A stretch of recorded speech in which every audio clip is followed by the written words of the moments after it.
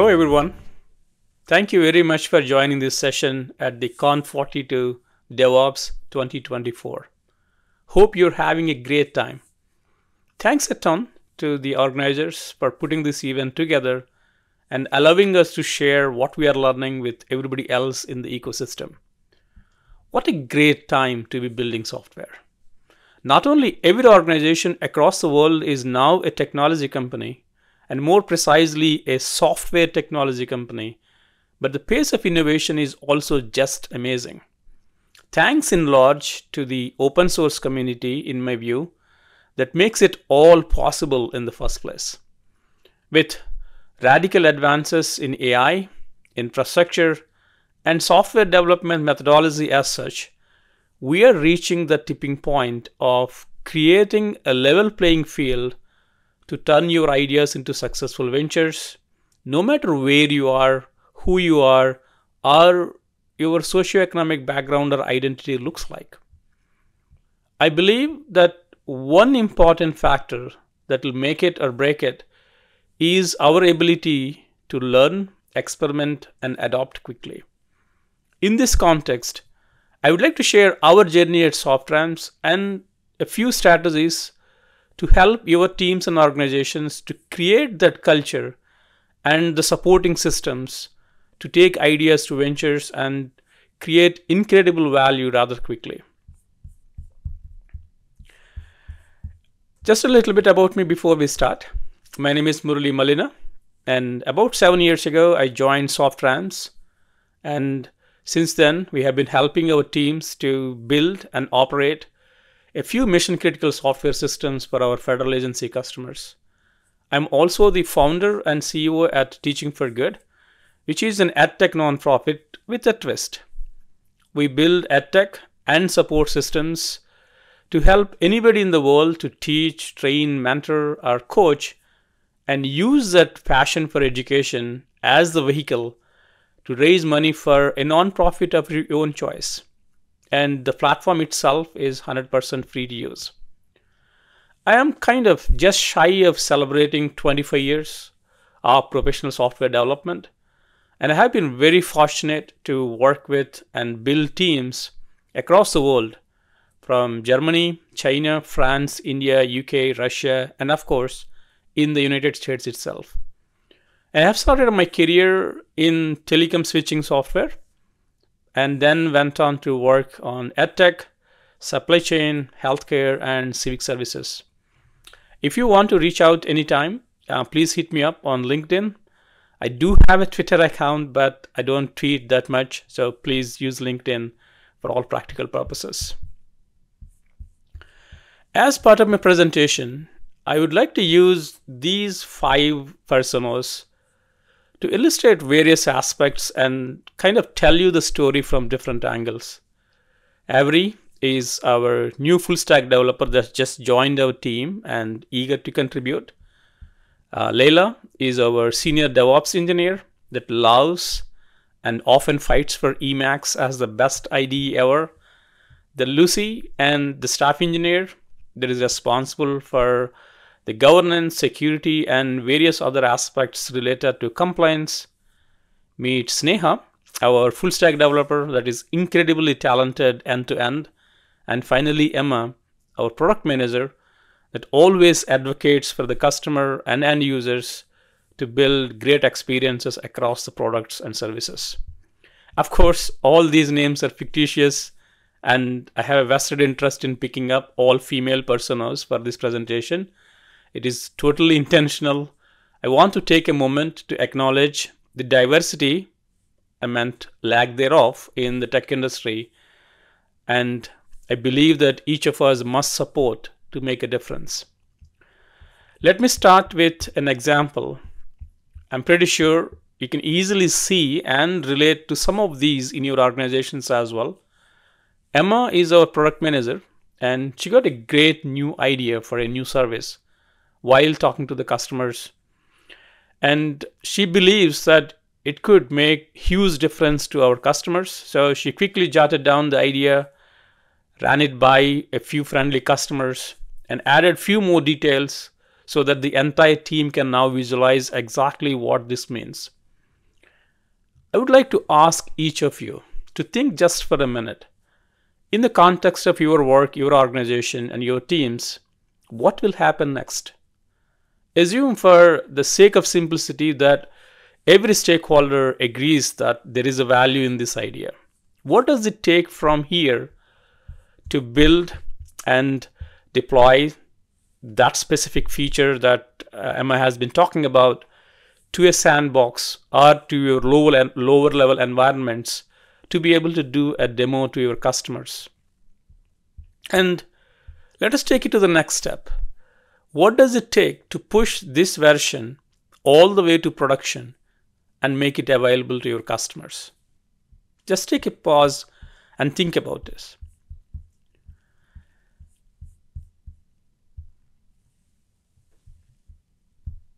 Next, we will take a look at the full stack developer Sneha.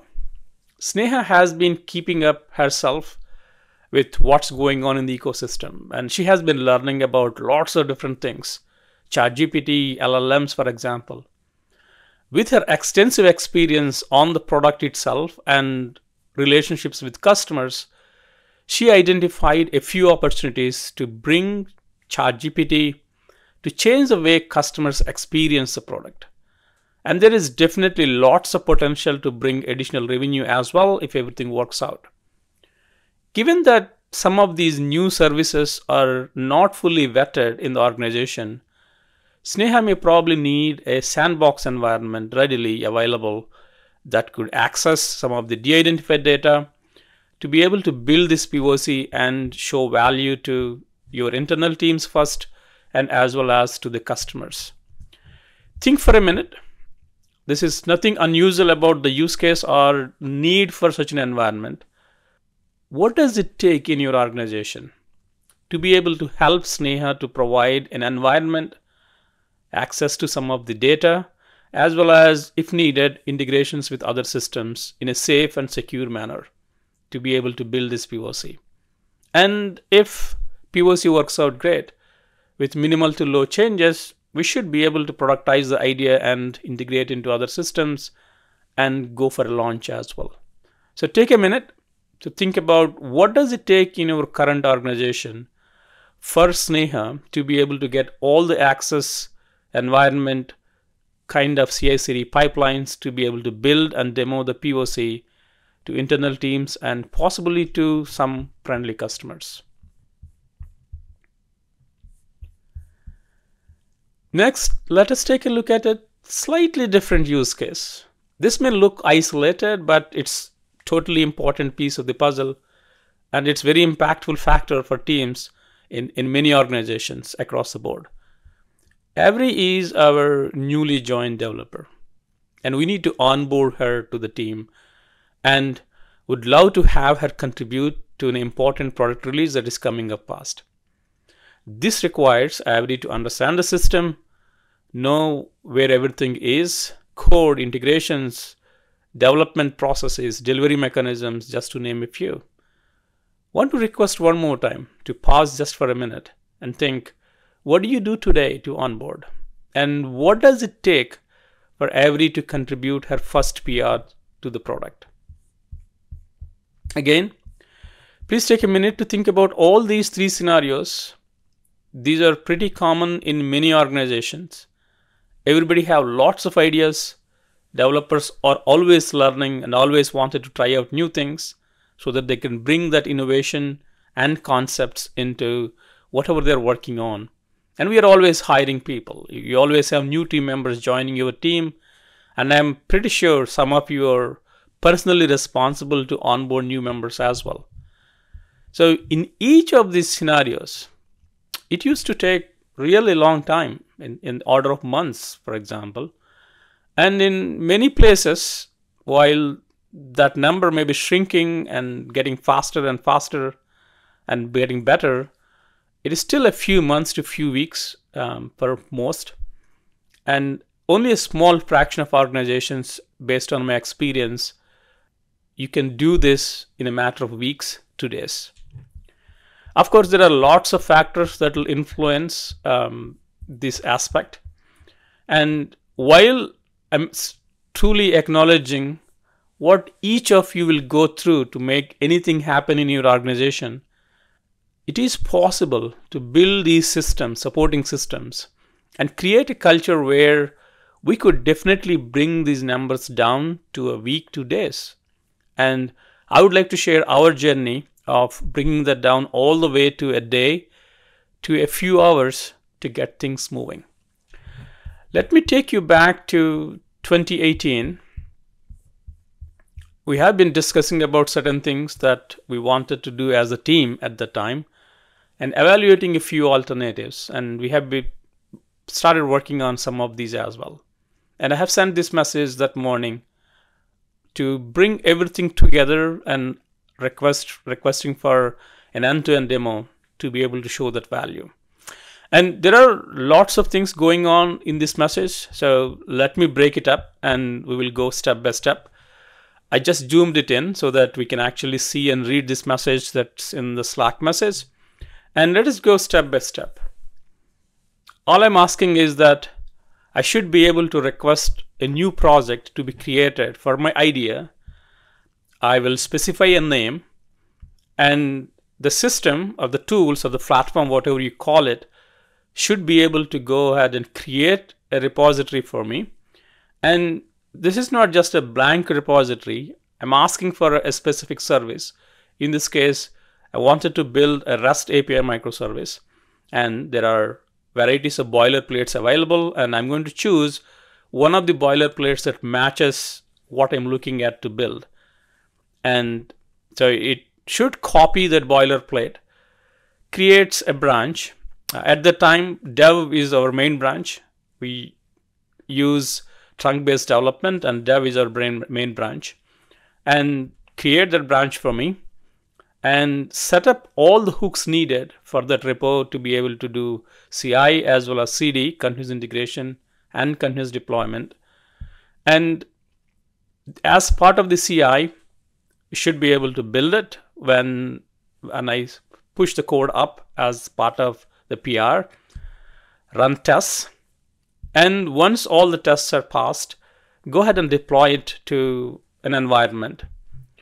And to make it available for all the internal teams to start with to be able to use this and test it and do the demos, for example, we also want to configure a CNAME for that sample service that is just being deployed. And of course, uh, provide that URL with the team so that now at least we can start with the health check. And now that this all setup is available for me to go and start building and iterating on my idea, everything is all set up. Every iteration can quickly go to deployment and everybody in the team should be able to access that really, really quickly. There are lots of things going on here. So to understand a little bit better, I would like to go ahead and group these as capabilities that we can build into a system or a platform, whatever you call it. I extracted some of those capabilities and grouped them into four different segments. Starting with the first quadrant, labeled as knowledge, this brings together the domain knowledge of the organization into a common place, one single place where everybody can go and get it collects all kinds of services, applications, libraries, components, design systems, starter templates, etc. And in some organizations, one team doesn't know exactly what the other team is working on. And this part of the puzzle is instrumental for product teams like Sneha, the full stack developer, or Emma, the product manager, to know the lay of the land to be able to understand the whole system, what is currently available. This allows them to think about maybe they could take this new idea. They don't need to build it from scratch. They could probably be composed from existing services or use one of these services and, and build on top of them, for example. And the next segment, going clockwise, is infrastructure. Beginning with the code repositories, creating those sandbox environments as well as the lower and production environments that require to host these applications, as well as the physical and virtual environments in the cloud, for example, where these can be deployed, so developed, built, hosted, and deployed. Typically, in many organizations, a, a DevOps team will, will handle a large portion of this responsibility to be able to build and operate these systems. Uh, going to the third segment, um, it's about the workflow, the eventual delivery itself, CI/CD pipelines, like I mentioned, configuration for each environment to be able to go to production. And another critical aspect of operations of a production system is the observability. All kinds of metrics, logs, eyes on infrastructure, infrastructure itself to be able to scale and perform reliably. Uh, the last one, but one of the most trickiest segments of all, is the governance segment. All kinds of safeguards, cost controls, access controls, the new oil of our era, the data, and variety of processes and workflows with guardrails built in. While this diagram illustrates all the key segments, it doesn't fully cover the list of capabilities we need to support the entire life cycle of any product or any idea. So I put together this diagram and you can see I have added two more sections to it, if you will, research and design as well. Typically, many products and discussions in the ecosystem and they talk about software factory or platform engineering or internal developer portals, they do not sufficiently cover this aspect of it, the research and design. But I believe this is really important to include the full life cycle. And you, you can see here in the research area, it's very important for the product teams to have access to data analytics, as well as any of the existing research. All the information is cataloged, as well as all the organization level policies that are available to be able to iterate on the idea quickly as part of the research.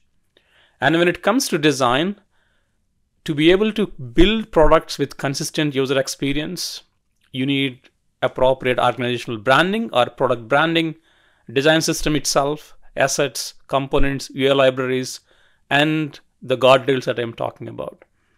So these two are in addition to the build, deploy, operate that we looked at as four different segments, starting with the starters, generators, libraries, services that are already existing, repository for source code, infrastructure, environment, CI/CD, and the whole nine yards that we just mentioned about.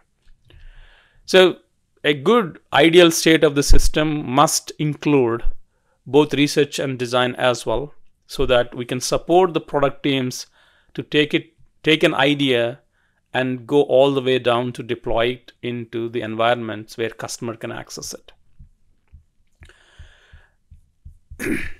And this brings us to the next step and putting all these things together. And we want to give it a name. And there are multiple different aspects and multiple concepts people refer to these in the ecosystem.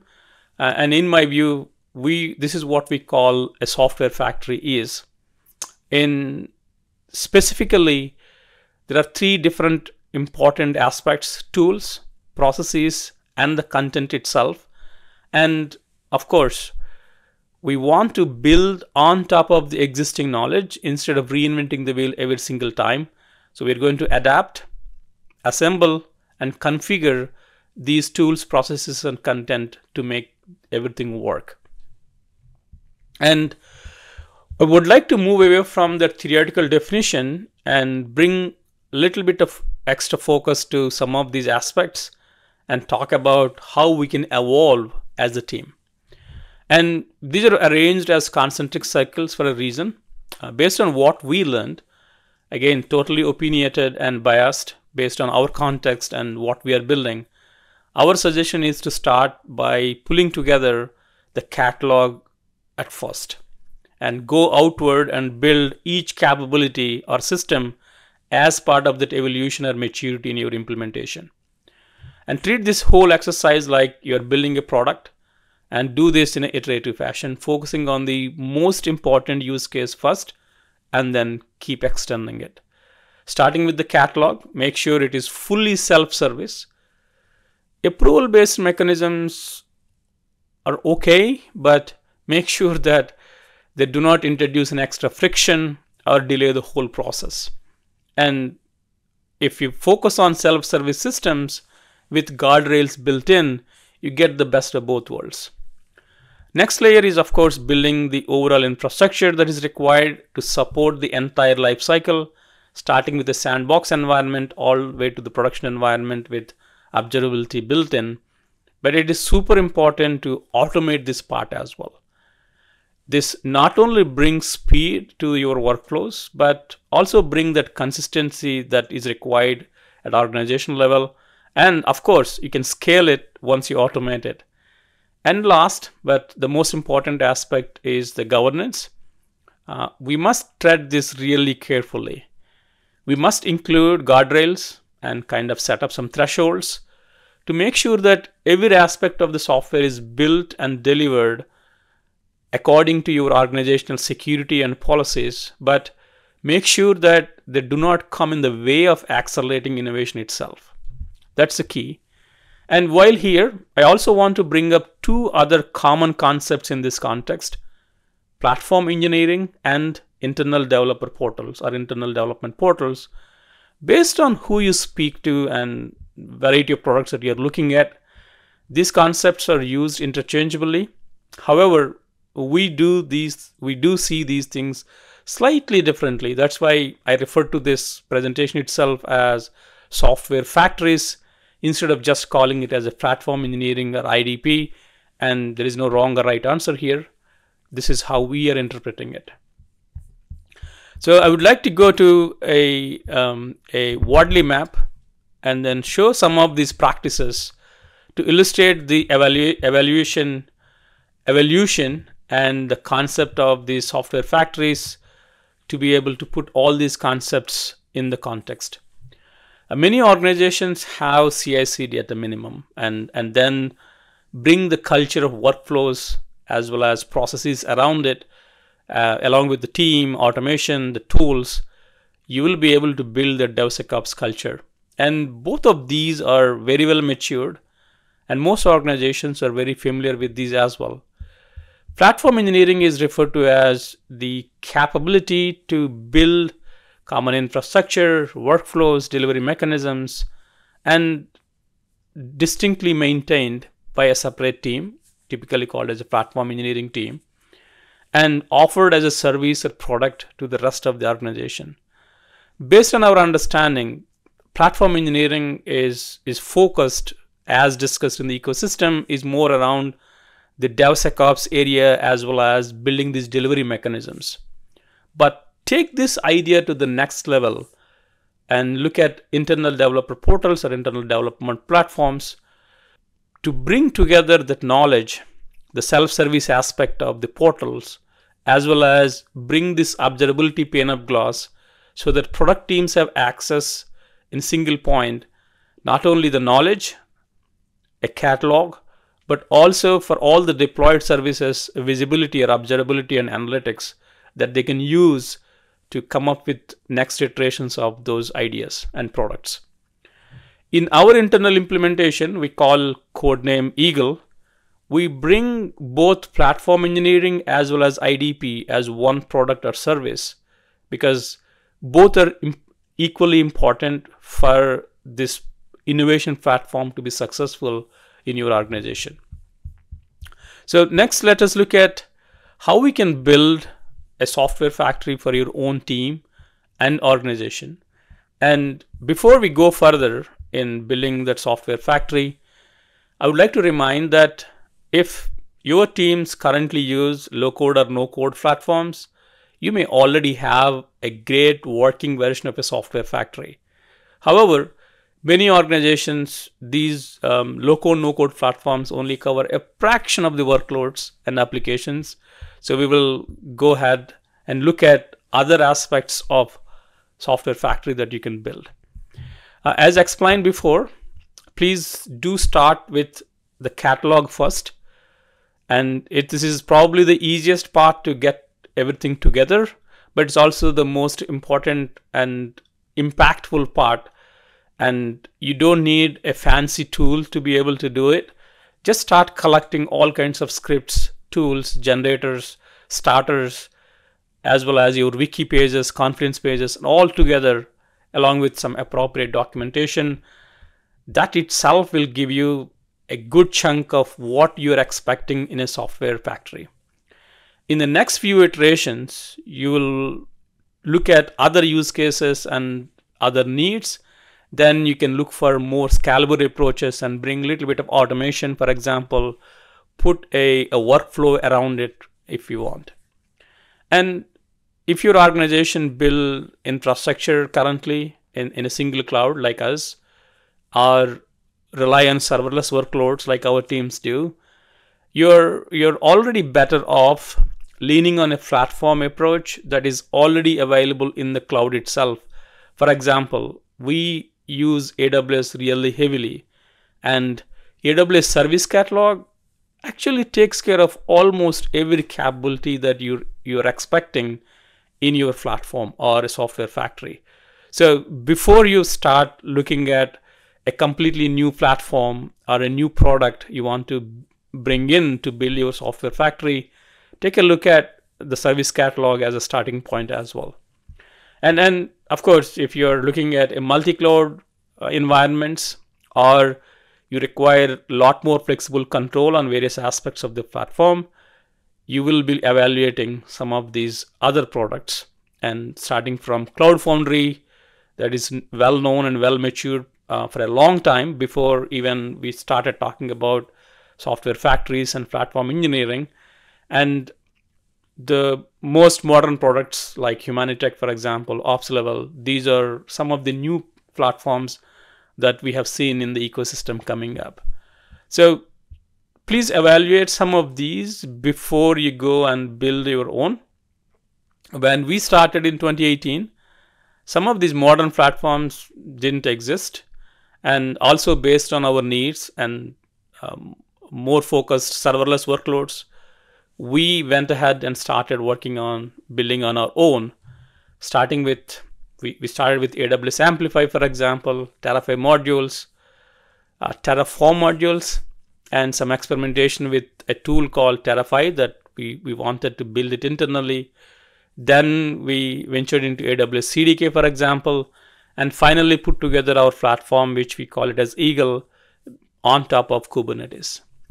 I'm going to quickly build, uh, bring up another Wardley map showing the evolution as well as availability of various aspects in the ecosystem. And the one the, the reason I wanted to bring this up is that the more you use matured products or managed products in this ecosystem, you will be the better off as well as you will be able to bring and build your uh, software factory rather quickly. You may have seen um, variety of services available, variety of uh, CNCF products, for example, all the projects in CNCF. You have that flexibility to be able to use it, but my suggestion is to first look for managed services within your cloud before you venture into bringing them onto your own surface. And essentially, no code, low code if you can. And most of you already know that there are a range as well as a variety of services available in the CNCF landscape that covers pretty much all use cases that you may be looking at to support your workloads. However, every single service that you bring, you are just increasing your total cost of ownership exponentially. This requires setting it, setting them up, configuring them, running them, operating them, taking backups, and all the adaptive maintenance that goes with each of these software units, managing their versions, migrations, security. This is really, really expensive to risk, expensive risk to bring all these services and manage by yourself. We definitely want to suggest that do not attempt unless it is definitely your core business or if you must do this as the last resort, not as the first idea itself to be able to build your software factory using this up. So, of course, um, we also use a fair amount of AWS services um, beyond some of the things that can be run inside a container. Since we used Kubernetes as our core platform where anything that is containerized can run on Kubernetes, but what will happen to other services like we use a lot of serverless workloads as well as managed services like S3. So we ran into this product called Crossplane. This is a great framework to bring cloud specific and all these managed services into the same umbrella so that you can provide this uniform workflow to manage all your resources and all your services like one system. And also in our system, we used Backstage as the, the portal and the knowledge base and Tekton for most of our CI/CD workflows. And I'm not here to suggest that any of these products are the only products available. Uh, there are a range of these products available. To, so choose based on what fits in, in your context, in your organization, and the experience of your teams. So I'm going to leave the discussion on the exact stack that, that you would like to look at. However, I believe now that we have an idea about these capabilities and why we want to bring all these capabilities together, whatever you want to call it, platform engineering, IDP, or a software factory like we call it. Uh, what we want to do now in the next couple of minutes is to share what works uh, based on our experience as we conclude this presentation. Um, the most important part I would like to start with is do not try to build your own cloud. Um, want to use the public cloud or private cloud. Make sure that you use as many serverless services as possible as well as fully managed services rather than creating your own cloud. Even though there are great CNCF projects available for you to bring and run on your own Kubernetes clusters. But that control and the flexibility they provide are also exponentially expensive to build, operate, and, and own those systems to be able to continuously manage. So I would say focus on the value rather than that control and flexibility. And start with the most important golden path. Um, start with researching your current ecosystem with a journey map, for example, or a value stream map, or a service blueprint, if you will. First, document the journey. What does it take in your teams, in your organizations, to take that idea and go all these through steps to be able to deploy your system? And then look at the most expensive steps in the process in terms of time and effort, then automate them and of course, you do it in an iterative fashion to learn more about the use cases, what is working, what is not working. Then go ahead and optimize, rinse, and repeat. And since a software factory brings a huge change across the board, I would like to conclude my presentation with this quote. You never change things by fighting the existing reality. To change something, build a new model that makes the existing model obsolete. So when you introduce, you may expect a ton of resistance or skepticism. So make sure to be able to move forward instead of directly going and making a pitch for the entire product. Build that initial MVP version and show the difference and you will get the buy-in. I hope this helps. Thank you very much for joining this presentation. Appreciate if you take a minute to share your thoughts and questions. Have a great time at Conf42. Thank you very much.